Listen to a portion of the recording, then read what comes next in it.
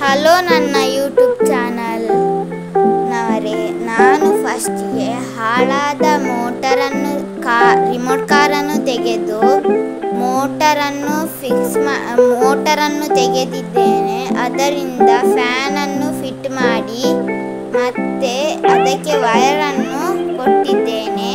ಅದಕ್ಕೆ ಬ್ಯಾಟ್ರಿಯನ್ನು ಸಿಕ್ಕಿಸಿ ಇದ್ದೇನೆ ಅದು ಯಾವ ಬ್ಯಾಟರಿ ಆದರೂ ಓಕೆ. ಅದರೊಟ್ಟಿಗೆ ಥರ್ಮಕೋಲ್ ಬಾಕ್ಸನ್ನು, ಎರಡು ಬಾಕ್ಸನ್ನು ತೆಗೆದು ಅಡಿಯಲ್ಲಿ ಒಂದು ಬಾಕ್ಸನ್ನು ಇಟ್ಟಿದ್ದೇನೆ.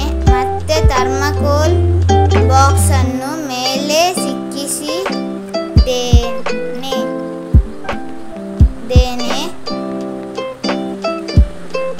ಎರಡು ಫ್ಯಾನ್ ಎರಡು ಮೋಟರು ಒಂದು ಕಾರಲ್ಲಿ ಇರುತ್ತೆ ఇంధనాలను ఎరడు